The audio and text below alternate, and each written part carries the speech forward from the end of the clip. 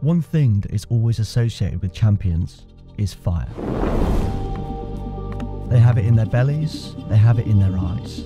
Fire is fueled by three elements, as are champions. Seven time champion of the world! Quite possibly the greatest of all time! Usain Bolt, three times world champion! Blood, sweat, and tears.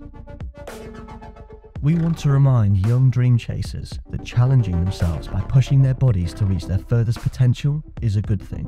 Your body is your dream's vessel, and your clothes are your shield. You're willing to put them through whatever to get to where you want to be. Blood shows you're putting your body second and your dreams first. Sweat shows you're pushing your body to its limits. And tears show you're willing to push your feelings aside to get to where you want to be.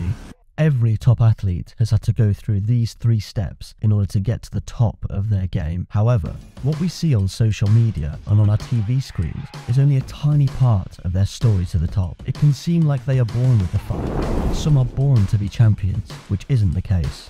If we saw their full story, we would realise everything it takes to become a champion, and therefore be motivated to go through the blood, the sweat, and the tears to get to where we want to be.